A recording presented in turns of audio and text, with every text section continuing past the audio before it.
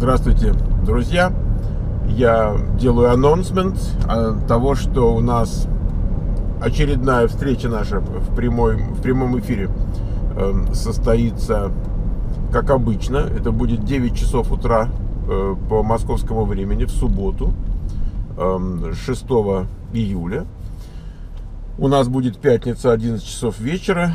И мы поговорим, как обычно, на э, те темы, которые значит, наши э, зрители приносят в, в эту трансляцию.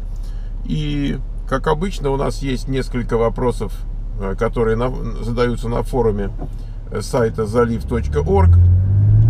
И сколько-то из этих вопросов мы, ну, сколько успеем. В прошлый раз это было только два, в позапрошлый раз сразу шесть. То есть моя задача потихонечку их разгребать, чтобы не получилось, что где-то у нас зависли неотвеченные вопросы. Вот мы их теперь в таком формате отвечаем. Хотя, если бывает вопрос сам по себе э, такой, ну, интересный, что ли, и мне интересный, чтобы поговорить на эту тему, и нашим зрителям, как, ну, насколько я понимаю, интерес нашего зрителя, э, такой массовый.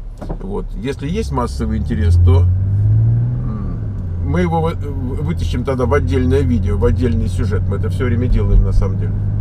Ну вот такие э, остальные вопросы, более локальные, мы тогда там.